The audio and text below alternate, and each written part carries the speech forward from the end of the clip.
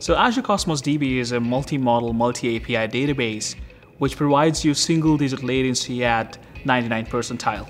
It's globally distributed, which means if your application is going viral tomorrow, you can just get another region hooked onto the application system with a matter of a click.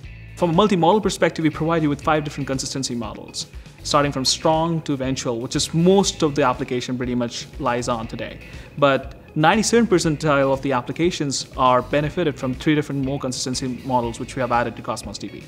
One is session, the other one is consistent prefix, and the third one is bounded staleness.